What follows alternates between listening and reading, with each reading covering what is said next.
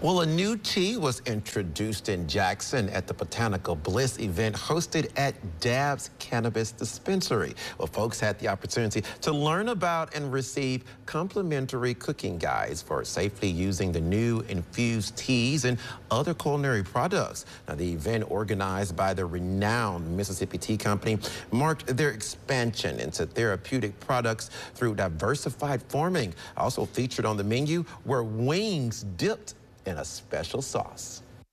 We have edibles out. Um, so we have a hot sauce, a wing sauce, we have uh, honey, and then we have teas.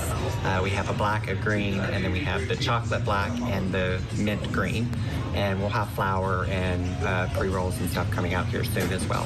Something about our brand, though, too, is that we actually have a clear roof, and so we're actually able to use the sun. And we also have living soil instead of hydroponics, and so all of that, uh, we use organic inputs, no pesticides, and so all of that together creates a premium product. And please note, visitors to the Dabb's dispensary must be 21 years of age or older.